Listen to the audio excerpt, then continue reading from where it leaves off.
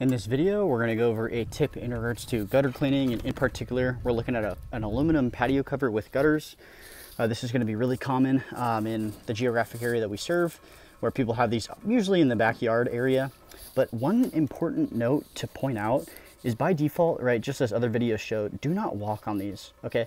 One characteristic of the patio covers that are not walkable is they usually have these like really flimsy top sides.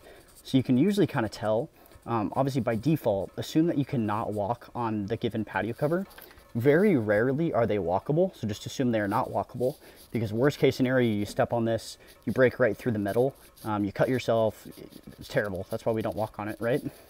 Um, but one uh, really, uh, I would say consistent giveaway for a patio cover that's not walkable um, are, you know, look at the flimsy top section. You know, this is just like wiggling with my finger. If you step on this, you're just gonna go right through it there's a good likelihood of breaking it or damaging it and hurting yourself, okay? So obviously be really careful with aluminum patio covers. By default, do not get on them, and especially do not get on ones that look like this. And clearly, like if you're ever gonna step on an aluminum patio cover, validate with the homeowner that you know it is walkable. They've seen people walk in, walk on it. They've th themselves have walked on it, but never get on a patio cover that looks like this.